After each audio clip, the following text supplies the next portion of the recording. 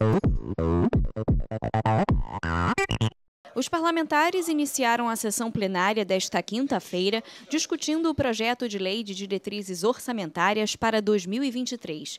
A proposta prevê receita líquida de pouco mais de 93 bilhões de reais e despesas no mesmo valor, ou seja, um orçamento sem déficit para o próximo ano. Em relação às despesas para 2023, estão previstos 59 bilhões de gasto com pessoal e encargos sociais e em torno de 3 bilhões para juros e encargos de dívidas. A projeção das receitas considerou como base o índice de variação de preços medido pelo IPCA, estimado em 3,51%. Após as discussões do projeto, os parlamentares terão o prazo de cinco dias para fazer emendas ao texto. As propostas de alteração serão analisadas pela Comissão de Orçamento, que vai elaborar um texto final para votação em plenário. Os parlamentares aprovaram o projeto que altera regras para a prova de vida de aposentados e pensionistas do Rio Previdência. A comprovação poderá ser feita através de dados do Sistema Público de Saúde ou de rede conveniada, declaração de imposto de renda, emissão ou renovação da carteira de identidade de motorista, além do uso do registro de vacinação e comprovante de votação. A proposta ainda veda o bloqueio ou a suspensão do pagamento do benefício por falta de prova de vida em 2022.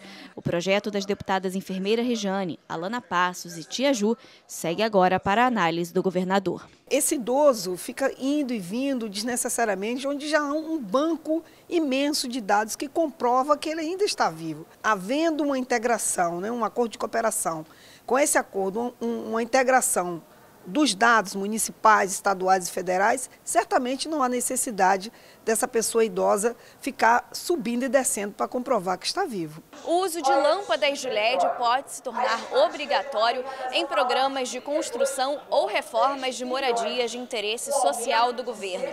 O projeto da deputada Zeidan ainda prevê multa para agentes públicos que descumprirem a norma. O projeto foi aprovado e segue agora para a análise do governador. Um centro esportivo especializado em reabilitação pode ser construído no município de São João de Meriti.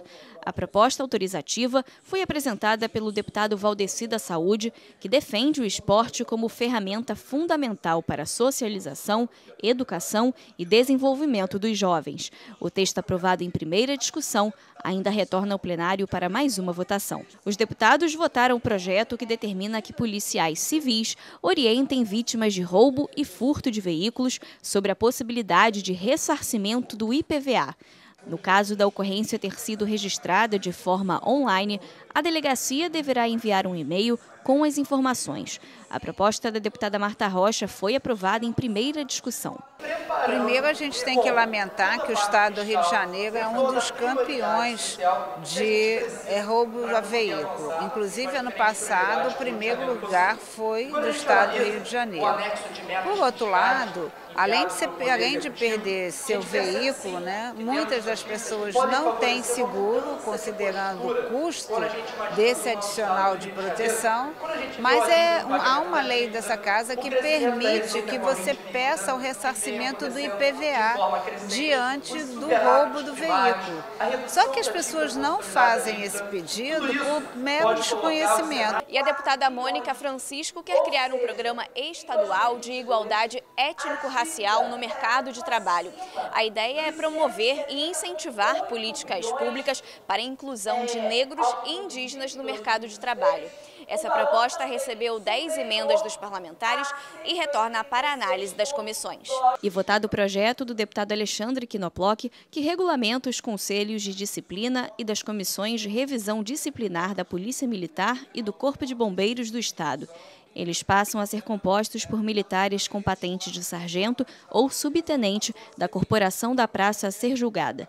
Com a medida, eles serão responsáveis pelo julgamento de processos administrativos disciplinares das corporações. Existe uma distorção de longa data na forma que os praças da Polícia Militar e do Corpo de Bombeiros são julgados. Eles são julgados sempre por três oficiais e muitas vezes esses oficiais não não conhecem a realidade do praça na rua e se conhecem acabam o punindo sem mesmo ter as evidências necessárias para punição. Então a ideia agora é que sejam dois praças assim como eles, só que mais antigo, e um oficial que seria o último a votar.